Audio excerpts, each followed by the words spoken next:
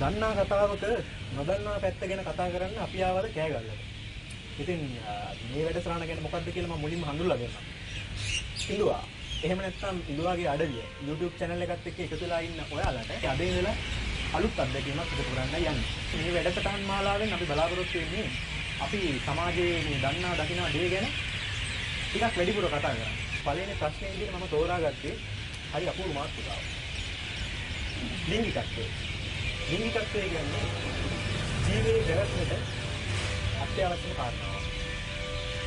මිනිසුන්ට, සතුන්ට, ශාකවලට මේ හැම හැම හැම කෙනෙක්ටම ලිංගිකත්වයේ කියන දේ මොඑක ආකාරවල දැනගන්න. ඉතින් මේ ලිංගිකත්වය ගැන කතා කරනකොට මේ ලිංගිකත්වය ගැන කතා කරන්න මිනිසුන් හරි ලැජ්ජයි. මිනිසුන් හරි බයයි. මේක හරි අමුතු මාතෘකාවක්. ඉතින් අන්න ඒ නිසාමයි මේ ලිංගිකත්වය ගැන කතා කරන්න අපි පළවෙනි මාතෘකාව විදිහට තෝරගත්තේ. ලිංගිකත්වය ගැන කතා කරනකොට මිනිසුන්ගේ ලිංගික ක්‍රියාකාරකම් සහ සතුන්ගේ ලිංගික ක්‍රියාකාරකම් ටිකක් වෙනස්.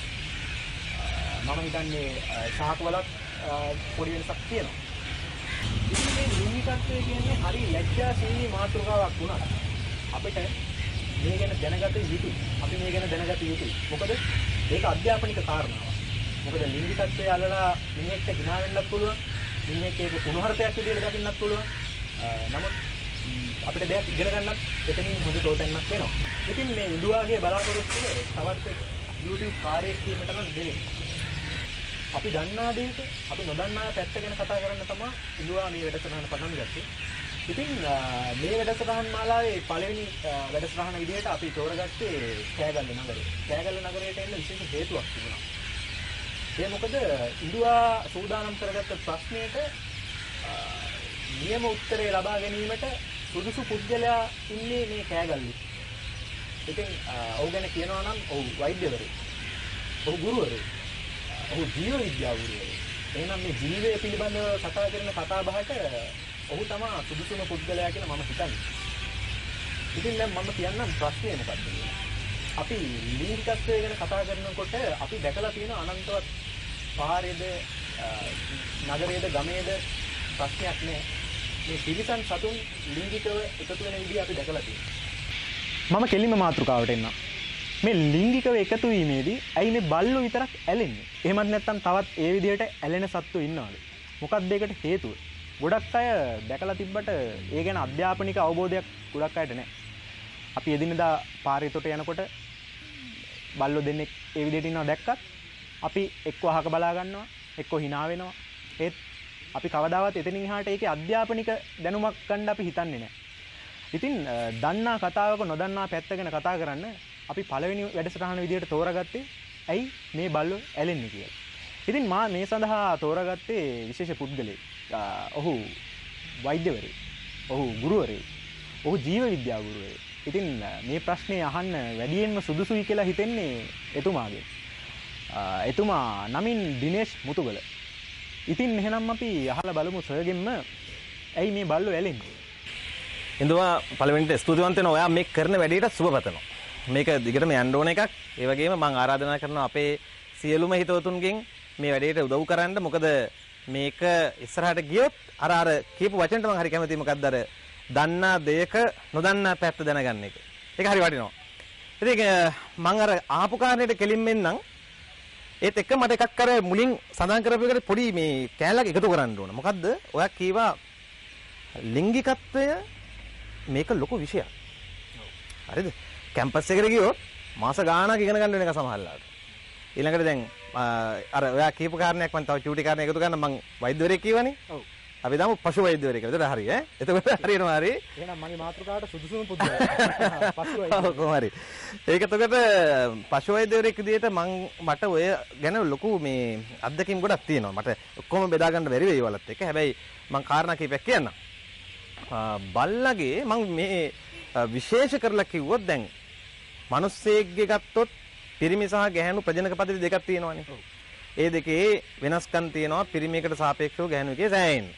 එතකොට මේ දෙක ඒකයි වෙනස්. ඒ වගේමයි ඉතින් බල්ලන්ගේ. ඒ වගේම අපේ පිරිමි කෙනෙක් ගත්තොත් අපේ පිරිමි කෙනාගේ බල්ලෙක්ගේ පිරිමි සතෙක්ගේ ඒත් ඒ ප්‍රජනක පද්ධතියේ සමානකම් වගේම සෑහෙන වෙනස්කම් තියෙනවා. ප්‍රධාන වශයෙන් අපි අඳුනන ඔය බල්ලෙක්ගේ ශිෂ්ණය ඉංග්‍රීසියෙන් කියන්නේ ශිෂ්ණයට පීනිස්. P E N I S පීනිස්. අපිට කියන අපේ අපේ ශිෂ්ණය දැන් අපේ පිරිමියාගේ ශිෂ්ණයට වඩා බල්ලන්ගේ ශිෂ්ණය වෙනස්. ඒකට අපි කියනවා ඔස් පීනිස් කියලා. O S පීනිස්. ඔස් පීනිස් කියන්නේ මේ ශිෂ්ණය මැද තියෙන අස්තිමේ කොටසක්.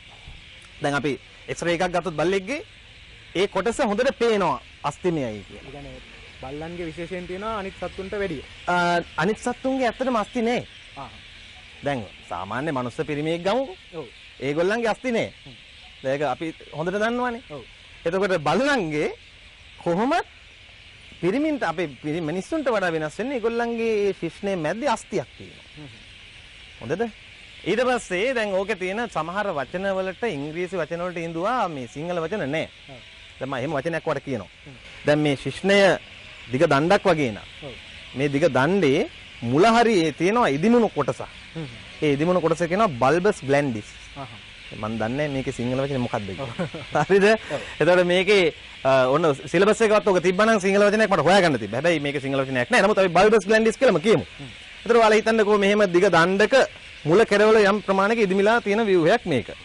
හැබැයි ඉදිමීම බොහොම පොඩ්ඩයි සාමාන්‍ය අවස්ථාවේ තියෙන්නේ.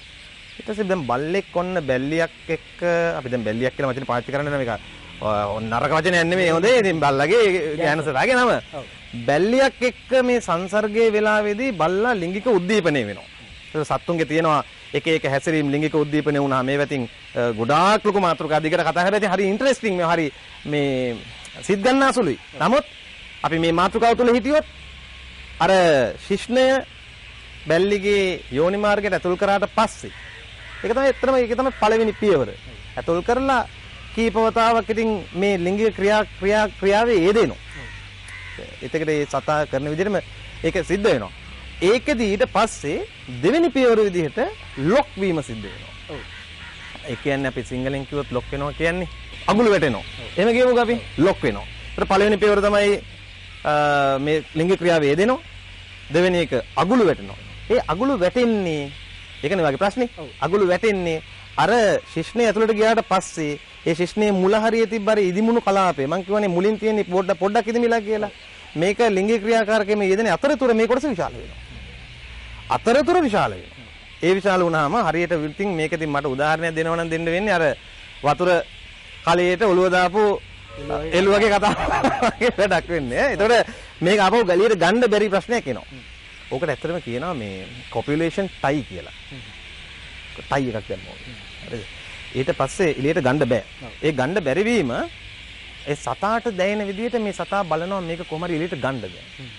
ඒ අතරතුර අර ලිංගික උද්දීපන අවස්ථාවේම මේ කෙනාගේ ශුක්‍රාණුත් පිට වෙනවා. මේ යෝනි මාර්ගය ඇතුළේ ශුක්‍රාණු පිටවීමත් ඒක ඇත්තටම උපක්‍රමයක්. ඒ යෝනි මාර්ගයේ ඇතුළට ශිෂ්ණ මේ මේ මේ ශුක්‍රාණු ටික දාගැනීමේ උපක්‍රමයක් තමයි මේ ලොක්. ධර්මයේ විසින් ස්වභාව ධර්මයෙන් දුන්න උපක්‍රමයක්. මේක වෙලාවට මිනිසුන්ට නැත්තේ. හරිද? එතකොට බාලලන්ට මේක තියෙන හින්දා ඇත්තම කතාව දැන් මේක මේක තිරසන් සත්තුන්නේ. තේරෙන්නේ නැහැ. අනිත් එක ඒ ලොක් එක වෙලාවේ ශුක්‍රාණු පිට වුණාට පස්සේ ශුක්‍රාණු පිට වීමෙන් පස්සේ සාමාන්‍යයෙන් ඒ බල්ලට වුණත් මේ දැන් ක්‍රියාව දැන් ටිකක් එපා වෙලා. මේක දැන් දැන් උඩ මහන්සිය දැනෙන්න ගන්නවා. මොකද ඒ මොහොත වෙනකන් හොඳ හෝමෝන ක්‍රියාකාරීත්වයක් ඇඟේ තියෙනවා. එතකොට ඇත්තට මහන්සිය දැනෙන්නේ නැහැ. ශුක්‍රාණු පිට වුණාට පස්සේ දැන් වැඩේ වෙලා ඉවරයි. ඊට පස්සේ හෝමෝන වල වැඩකුත් නැහැ.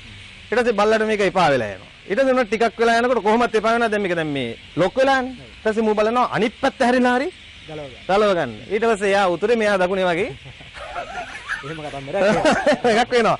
හැබැයි අන්න ඒ වෙලාවේ ටික ටික ටික ටික දැන් අර උද්දීපනේ නැති හින්දා ඔද ගොඩක්ම ඉඳුනිල් මේ මං ඉඳුනිල් කියනවා. ඒතර අපේ ඉඳුවා ඒ ශිෂ්ණය ප්‍රාණවත් වීමේ වැඩේ වෙන්නේ රුධිරයේ එක්ක.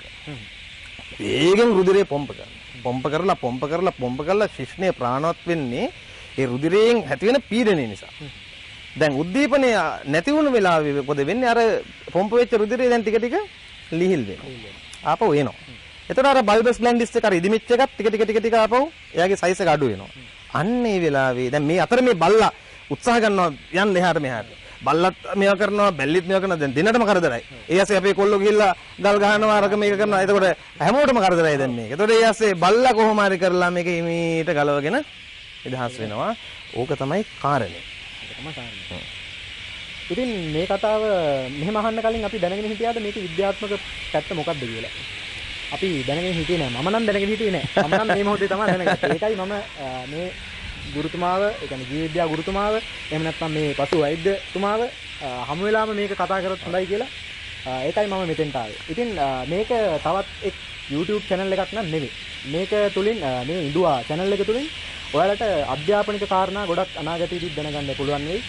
ඒ කියන්නේ විශේෂයෙන්ම මගේ බලාපොරොත්තුව අපි අවට තියෙන මේ දන්නා දකිනා දේ තුල සැඟවිලා තියෙන ඇත්ත මොකද්ද? මේ මේකෙන් මොකද්ද වෙන්නේ? අන්න ඒ දේ ඔ- ඔබ හමුවට ගෙන එන්න තමයි මේ අ, මේ වැඩසටහන් මාලාව මම පටන් ගත්තේ. අ, ඉතින් අ, අපි හිතනවා ඒක අපි හැමෝටම පැහැදිලි වෙන්න මේ ගුරුතුමා ඒක කියා දුන්නා. ඒ අ, ඒ දිනුම නිසා අපි ඒකට විවිධ අර්ථ අර්ථකථන අපි කලින් දීලා තිබ්බා. මේක මේක මෙහෙම වෙන්න ඇති.